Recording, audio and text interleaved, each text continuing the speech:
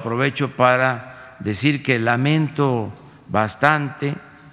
estuve pendiente, preocupado y también ocupado porque hubo un accidente de compañeros de eh, los medios que nos acompañan a la gira, un accidente, se volcó una camioneta, eh, se dio la atención, sí fueron varios los lesionados, afortunadamente no eh, graves y ya están en recuperación. Eh, ayer comentaba yo de que pues hay que buscar la forma de evitar los riesgos